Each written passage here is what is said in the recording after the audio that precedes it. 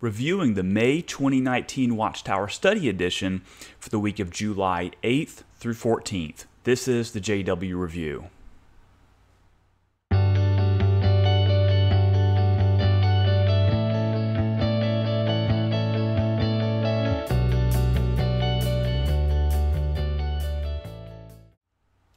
Hello, everyone. Uh, welcome to the JW Review podcast. Uh, my name is Mike Felker, and this is the weekly podcast where we look at uh, next week's Watchtower Study Edition and we just compare it to what the scriptures teach uh, just a little bit about me, uh, you can go to michaeljfelker.com and uh, you can find out much more about what I do, uh, more about me personally. And uh, there you can see uh, these weekly Watchtower reviews, and you can also see the weekly meeting workbook reviews, which are actually written reviews. So I am not a Jehovah's Witness, I'm not an ex Jehovah's Witness, and I've never had any formal association with the Jehovah's Witnesses. So uh, this week's uh, review is going to be very interesting because we are covering something that I don't think I've ever covered really uh, on this podcast, and that is uh, the Watchtower's uh, child abuse policies. And so, unless you've been living under a rock, um, well, I guess unless you have had any familiarity with the Jehovah's Witnesses, you may not know about this. But if you do have any familiarity with the Jehovah's Witnesses, you know that uh, in the past, I would say maybe two or three years, uh, they have been making headlines literally uh, as it relates to uh, their child abuse policies. And most noteworthy of that is the Australia Royal uh, Commission. And if you just Google Australian Royal Commission, you're going to find uh, tons of stuff uh, online about that. And I would encourage you, especially, uh, to watch uh, the videos, uh, the videos where um, a governing body member uh, was basically interrogated uh, by the Australian Royal Commission, I think it was. I can't remember who was interrogating them, but uh, anyway, it was a very, very uh, interesting uh, interrogation. Uh, I would highly recommend uh, watching those and just doing a lot more reading on this because, to be honest with you, this isn't an area that I've done a, a ton of research on. And uh, but because this was our weekly article um, dealing with child abuse, it did force me to do a whole lot of uh, digging uh, into this issue. And so, um, what I like to do on this podcast is I, I like to do more of a scriptural uh, examination of these things. And so, uh, which basically means you're not going to see as much here where I'm looking at like court cases, court transcripts, and uh, things like that. And that stuff is extremely important. And uh, but what I'm saying is, I think there are others out there who are uh, far more um, with far more expertise uh, to delve into those things, uh, especially when it pertains to legal things and uh, other other things of that nature. And so uh, that stuff's very important. Um, but what I want to do here is just try to take as much of a scriptural uh, approach as I can. Uh, so uh, this article is titled "Love and Justice in the Face of Wickedness," and I would say it's about time uh, the Watchtower has uh, put something in print as it relates to child abuse. Now, the last thing, as far as I'm aware, that they've actually put in print uh, is this document here. It's, uh, it's titled uh, Jehovah's Witnesses Scripturally Based Position on Child Protection. So, if you go to jw.org, and I, I think if you just search for child protection, uh, this article is going to pop right up. And this is their official policy on uh, child protection. And it's a good thing they did post something like this because I, think this was a long overdue. And as you may well know, uh, Jehovah's Witnesses aren't exactly known for responding to their critics. Their usual position is uh, silence. Uh, let's just forget about people out there like me or like you who are making uh, public statements uh, about them. It, it's a rarity that the Watchtower makes any kind of uh, public response against accusations, but I think this whole issue has just blown up so much and that it's become so public. Uh, they've just been forced to uh, respond because I know a lot of Jehovah's Witnesses, even faithful Jehovah's Witnesses have probably written in uh, to the headquarters to get some type of official uh, response on this because. Uh, you could dig through uh, jw.org and the online library uh, to try to find uh, policies, uh, written stated policies on uh, child abuse and what to do if you are in that kind of situation. So we're going to not do a full review of this of this this policy here, but we are going to look at just a few things that I've highlighted in light of this Watchtower article. I don't think this is going to be the last thing the Watchtower ever says on this, uh, but this was their chance uh, to really put something into print, uh, something very recent, uh, to where we can look at this and say, oh, okay, I know where uh, the Watchtower uh, stands on this, or better yet, I know where the governing body stands on this. So I would otherwise want to read this whole article, but I just don't think we have the time to do that. So we're just going to uh, look at some highlighted uh, portions on this. And uh, oh, by the way, uh, if you notice the, the video quality is a little better, uh, that's because I got a new iPhone 10s, and that is what I am using to shoot this video. So I'm really hoping that the quality improves here, and this actually led me to some ideas to be making higher quality videos otherwise outside of the Watchtower weekly reviews to do maybe some more uh, topical videos and uh, things like that. So uh, be on the lookout uh, for that. So the key text for this uh, this article is Psalm 5:4. you are not a God who takes pleasure in wickedness. No evil dwells with you. So uh, the Watchtower emphasizes time and time again in this article and other articles uh, dealing with child abuse how much they hate child sexual abuse. And the first paragraph here highlights that. Uh, Jehovah God hates all form of wickedness, how we must hate child abuse, and especially repugnant wicked deed. In imitation of Jehovah, we as his witnesses abhor child abuse and do not tolerate it in the Christian congregation. So that is their sentiments, that is their feelings. You can find uh, plenty of articles stating how much they hate child abuse, how much they do not tolerate it. Um, you're going to find plenty of that. But what we will say is that actions speak louder than words. So that's the point here. So it's not so much uh, what they say, it's about what they actually do okay? And that's what we're going to highlight here. So let's go to uh, paragraph 7. And uh, what I am most concerned with, and I think a lot of what uh, you're most concerned with, is how all of this child abuse stuff and the Watchtower's policies, how it relates to uh, the secular uh, authorities, right? And uh, just to emphasize this, let's look at Romans uh, 13. This is an extremely uh, important passage. Uh, 13.1 uh, Every person is to be in subjection to the governing authorities, for there is no authority except from God, and those which exist are established by God.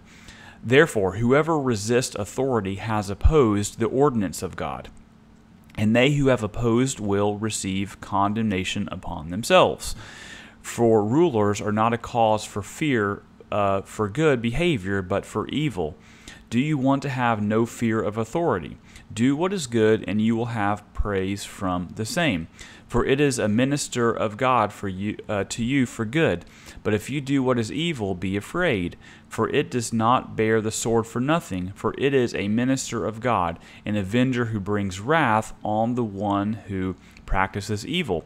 Therefore, it is necessary to be in subjection, not only because of wrath, but also for conscience sake.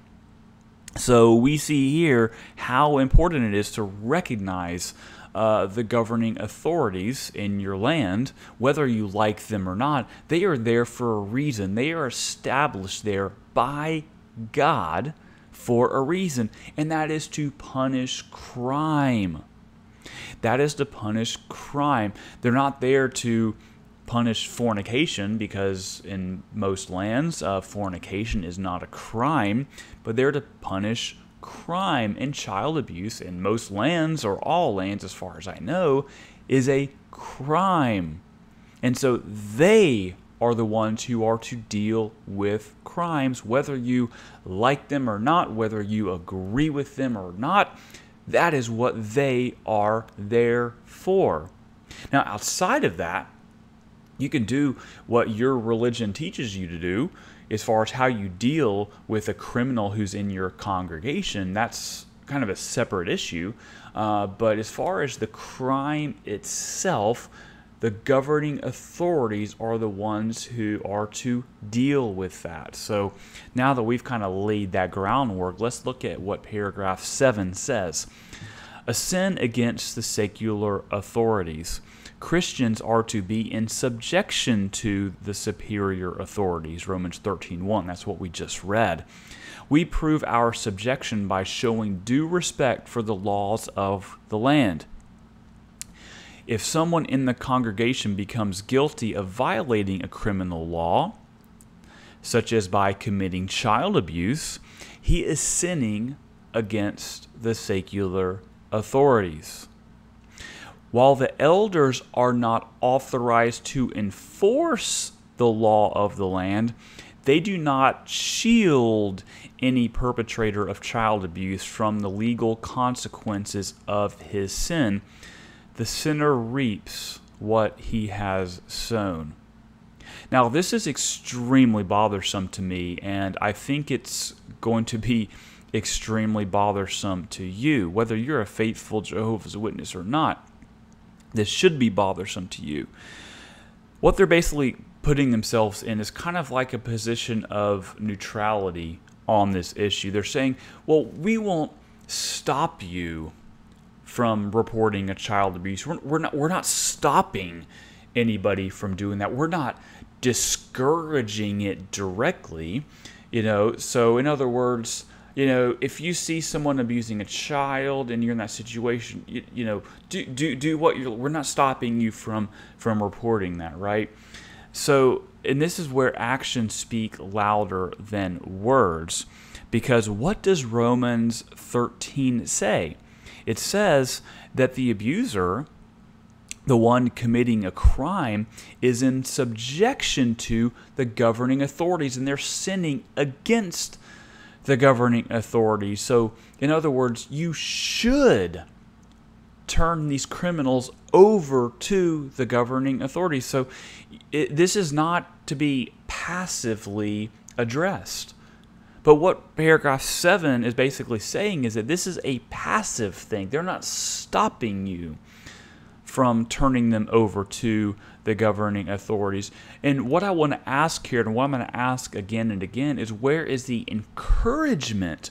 Where is the directive on what Jehovah's Witnesses, whether it's the rank and file or the elders, where is the directive, the action, the plan on what you should do if you're encountering a child abuse situation?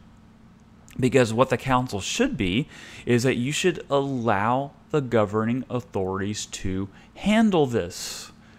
Now, I'm not saying that you shouldn't try to work things out on your own, too. Of course, you should. These are children. This is about the children. Of course, you should do everything in your power uh, to uh, to take action, but you should also allow the governing authorities because they're the ones who also have expertise in this area. You don't have the expertise, your elders don't have the expertise, and the Watchtower headquarters does not have the expertise to address this. Yes, do everything you can, take things into your own hands if necessary, but again, it's the governing authorities. The governing authorities that Romans chapter 13 says that should be handling this because your sin is against them. All right, let's move on. Paragraph 9. Over the years, Jehovah's organization has provided an abundance of scriptural information on the subject of child abuse. For example, articles in the Watchtower and Awake have discussed how those who have been sexually abused can deal with emotional scars, how others can help and encourage them, and how parents can protect their children elders have received detailed scriptural training on how to handle the sin of child abuse. The organization continues to review the way congregations handle the sin of child abuse. Why? To make sure that our way of handling the matter is in harmony with the law of Christ.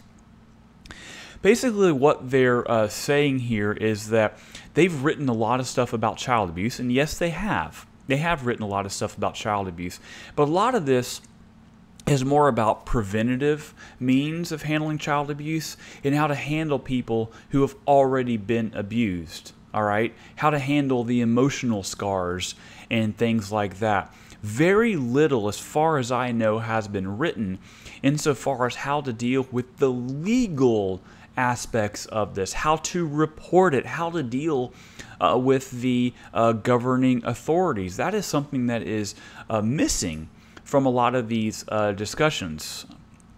But also, it says here, elders have received detailed scriptural training. Now, we all know that you can't find, well, you're not supposed to be able to find out what this detailed scriptural training is. But is that really fair that a Jehovah's Witness can read this? And the faithful Jehovah's Witness just simply cannot find out, or he's not supposed to find out, what this detailed scriptural training is. You're just supposed to believe them that they've received this. But uh, we, we all know where that scriptural training is found. It's in the elder's handbook that is confidential and is for the elders' eyes only, not for uh, the rank and file. And I think at this point, it is wrong uh, for the Watchtower to be intentionally withholding this detailed scriptural training from everyone else, especially in light of what has been happening in these uh, child abuse uh, situations that are happening all over the world. At the very least, I think the Watchtower should publicly release uh, what this uh, scriptural uh, training is. And also, they say here that the way of handling the matter is in harmony with the law of Christ. Now, again, this is just spiritualizing everything. I'm not saying there aren't scriptural and religious aspects of this that should be um, no doubt about that, but we're concerned with the legal ramifications, right? If you go to jw.org, the online library, uh, do some searches uh, with keywords contacting the authorities or contacting police and any variation of those words, and you're going to find little to nothing. Uh, about that on the online library. And I think that is really, really noteworthy here. Paragraph 10. When elders handle any matter involving serious wrongdoing, also known as crimes, uh, they keep in mind the law of Christ requires that they treat the flock with love and do what is right and just in God's eyes. Oh, that means reporting a crime to the authorities, right? As a result, they have a number of concerns when they receive a report of serious wrongdoings. Okay, what are those concerns? What are those concerns, and what do you actually do when you receive reports of crimes? What do you do? The elders are primarily concerned with maintaining the sanctity of God's name. Now, that means obeying Romans chapter 13, right? They are also deeply concerned with the spiritual wel- welfare of their brothers and sisters in the congregation and want to help any who have been victims of wrongdoings. Now, does that mean just taking matters into your own hands and doing your own investigations? Well, yes, it should involve that, but again, it involves letting the secular authorities handle this because that's what Romans chapter 13 says to do, right? Paragraph 11. In addition, if the wrongdoer is a part of the congregation, elders are concerned with trying to restore him if that is possible. Okay, but after you've allowed the secular authorities to handle this. So, so yes, no one is beyond God's grace totally in, in agreement there. Uh, but again, is this after the secular authorities have handled this? Where do the secular authorities come into play here? The Watchtower is just uh, conspicuously silent on this so far in this article. And why? A Christian who gives in to the wrong desire and commits a sin is spiritually sick. That means he is no longer he, th- this means that he no longer has a healthy relationship with Jehovah. In a sense, the elders are spiritual phys- physicians. Fine and well, okay? Give them that, but where does do the secular authorities come into play here? Paragraph 12. Clearly, elders have a weighty responsibility. They care deeply about the flock that God has entrusted to them. They want their brothers and sisters to feel secure in the congregation. For that reason, they act promptly when they receive a report of serious wrongdoing. Okay? what does acting promptly mean? Well, we're about to see that when we do a quick review of their scripturally based position on child protection. And it's going to tell us here uh, what they're supposed to do in relation to contacting the authorities. But first, let's look at paragraph 13. Do elders comply with secular laws about reporting an allegation of child abuse to the secular authorities? Yes. Now, Let's stop there for a second. What does compliance mean? Compliance means that if the law requires the reporting of the abuse, then they report the abuse. But what if the law doesn't um, require the reporting of the abuse? Do they report it? Should they report it? Well, let's find out. In places where such laws exist, elders endeavor to comply with secular laws about reporting allegations of abuse. Such laws do not conflict with God's law.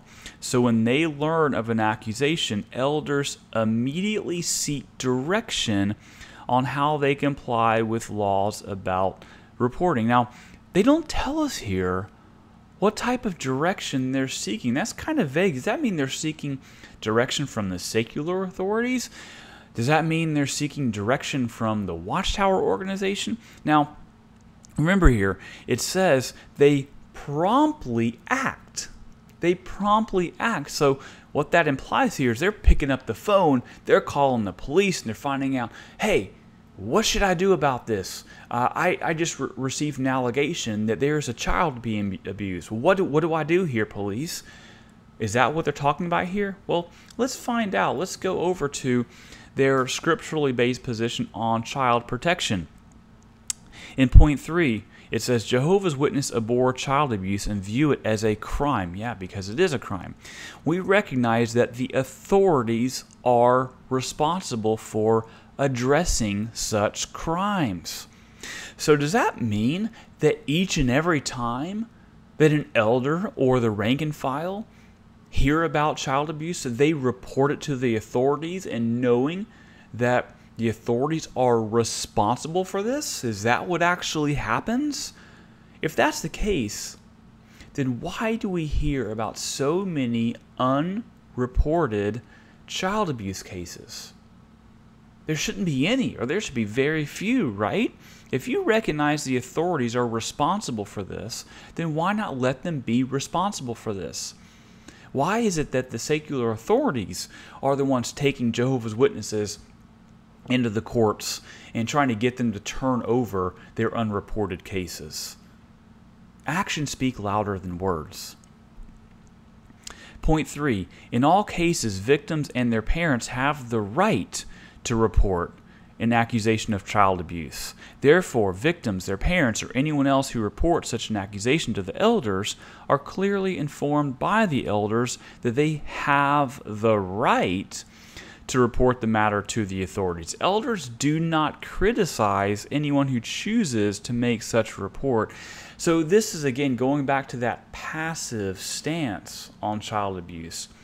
They're saying, We're not going to stop you from doing this.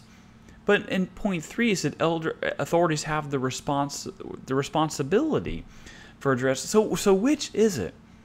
Should a Jehovah's Witness report this or should they not report this? Why are they taking this passive stance? Rather than the active stance and saying, turn this over to the authorities because they have the expertise and they are the ones responsible for this. So now here's what we find out as far as what elders are to do in this situation. When elders learn of an accusation of child abuse, they immediately consult with the branch office of Jehovah's Witnesses to ensure compliance with child abuse reporting laws. Even if the elders have no legal duty to report an accusation to the authorities, the branch office of Jehovah's Witnesses will instruct the elders to report the matter if the minor is still in danger of abuse or if there's some other valid reason. So, you've really got to read this carefully because it does sound like they're giving a directive here, but they're really not, right?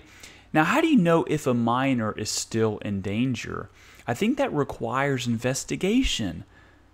But does the, does the elders or even the branch office have the expertise to be investigating like this? Well, the answer is no.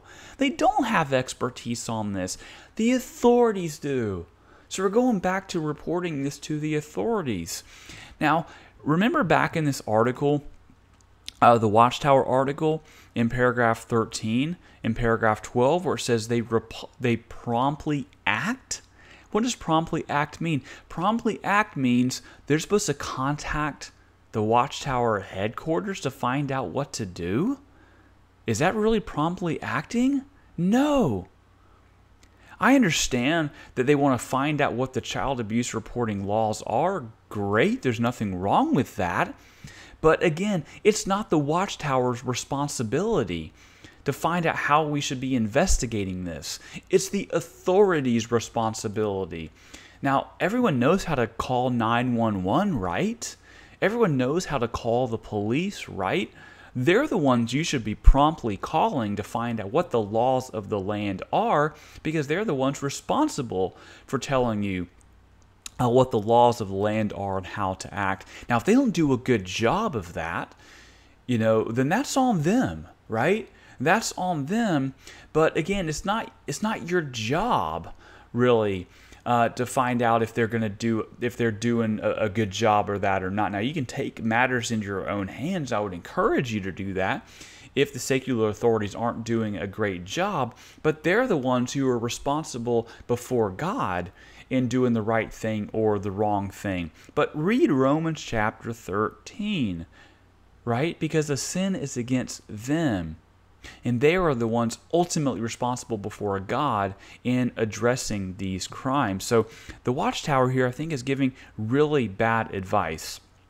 Now, it may be that after you've reported this to the secular authorities, that, yeah, sure, call, contact uh, the branch office and find out did I do everything that I could do in this situation? I've already contacted the police. They've told me what to do. I've taken all this action.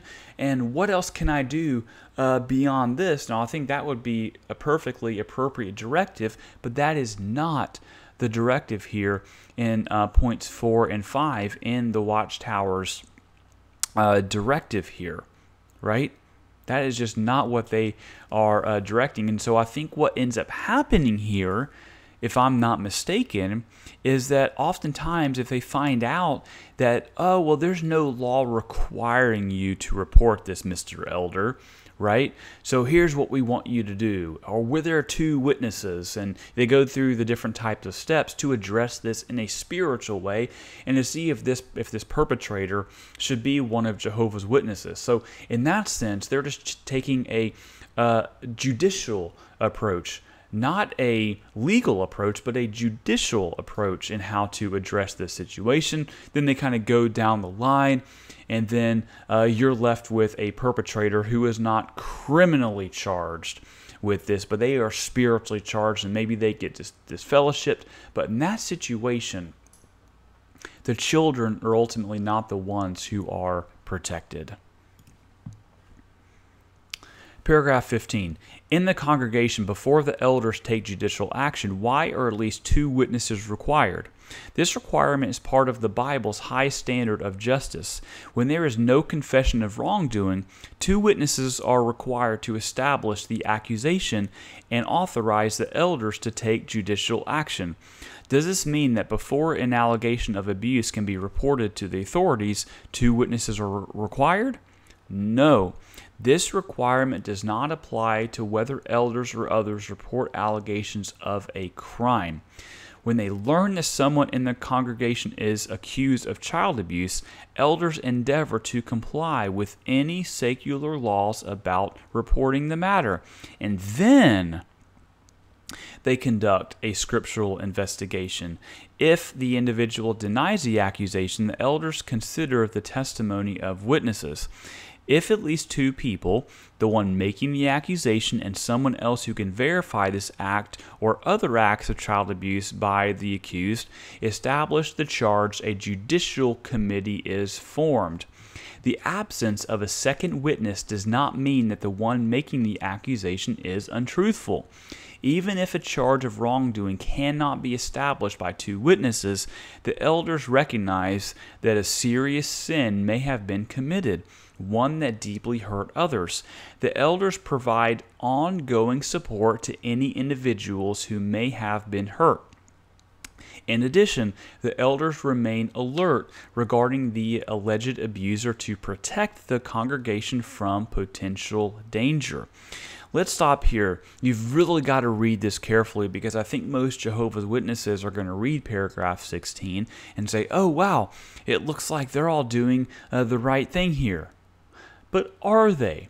Because it sounds like, if you're not reading this carefully, that they're saying, oh, yeah, you report this to the authorities. They take care of everything. They do their job and they do all what they're supposed to do from a legal perspective. But then, after that, you go and apply scriptural directives to this and you allow the elders to handle this in a judicial way, in a scriptural and spiritual way, and they handle, handle it that way. So, again, the legal takes place over here, they do their thing, and the watchtower and the elders and everyone else does their own thing. But is that really what they're saying here? Well, no, it's not because all it's really saying here is that you find out if there's any legal requirement for you to report this. And I think what happens most of the time is that they find out, oh, well, no, there's not a legal requirement here, so we don't contact the authorities and we just let the elders handle it. If I'm not mistaken, I think that is what's happening in most cases here, and that's why you're finding out that there is just a plethora of unreported cases out there. And so what we have here is not necessarily a broken criminal system, although we there might be that, but we have a broken watchtower policy system. That is what is happening here. Paragraph 17. What is the role of the judicial committee? The term judicial does not mean that the elders judge or rule on whether the abuser should be punished by the authorities for breaking the law. The elders do not interfere with law enforcement, they leave criminal matters to the secular authorities. But that just assumes that the crime has been reported. That assumes the crime has been reported. So the watchtower here, they're just not addressing the real issue, and that's whether you should or not report a crime to the authorities. Which is it? Why aren't they clear on this? I think they're not clear on this is that they can just leave things be, right? They can just let the legal happen if there's a requirement, and they can take things into their own hands, right? But a lot of times elders just don't know what to do here. They contact the branch and they're told there's no law requiring this, and then they just conduct their scriptural investigation, whatever that may be. Now, let's talk about this whole idea of judicial committees. Now, there is just no biblical basis whatsoever about judicial committees, right? About elders uh, doing these kinds of things that are that they're doing. Elders behind closed doors in these judicial committees, where maybe a perpetrator is before them and they're deciding uh, what to do. There's just simply no scriptural basis for judicial committees, right? And and believe me, you can read all of these uh, scriptural passages that are quoted here. You're not going to find a thing here about uh, judicial committees. So again you've got a broken uh, policy system here uh, with uh, the watchtower. and uh, paragraph 18. When elders serve on a judicial committee, their role is spiritual or religious. Guided by the scriptures, they judge whether the abuser is repentant or not. If he is unrepentant, he is expelled, and an announcement is made to the congregation. Okay, let's take a big stop right there. Now, when an announcement is made to the congregation, are they told what the offense is? Are they told why this person is no longer with Jehovah's Witnesses? I don't think they are. Now, I've never been one of Jehovah's Witnesses. I've never sat there in the Kingdom Hall when this announcement is made. But as far as I know, even in these cases of child abuse, they are not announced as a child abuser. If I'm wrong on that, please correct me, right? But as far as I know, they're not told why this person is being expelled. And so everyone is left to speculate. And you know what I think this turns into? I think this turns into a lot of gossip. I think that's what ends up happening there. And I think this whole silence on why this person is being disfellowshipped, it really fuels gossip. Now, of course, everyone is responsible for their own sins, no doubt about that. But why, when you have child abuse, and this person is left to walk on the streets, even if he's expelled from the congregation, why are they not told about what actually happened? Why is everyone left to their own speculations on why this person is being uh, disfellowshipped? Why is that?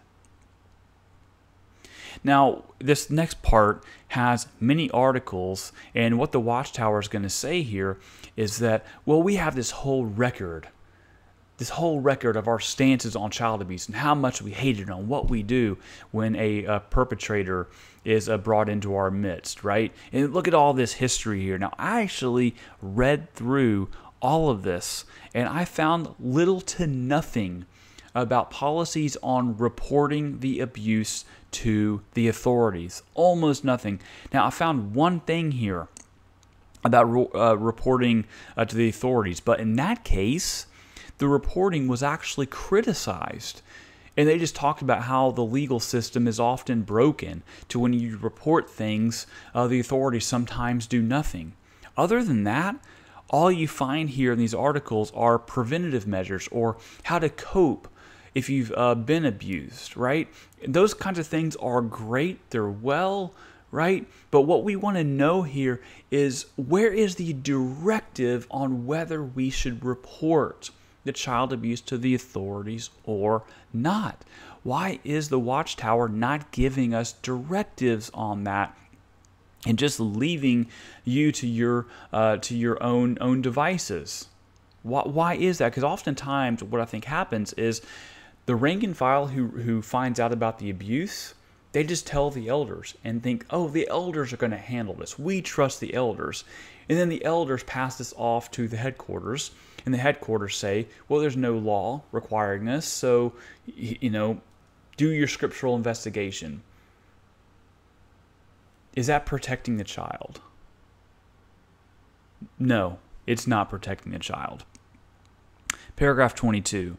Educate your children. Share with them age appropriate information about sex. Teach them what to say and do if someone tries to touch them in an inappropriate way. Use the information that God's organization has provided on how to protect your children.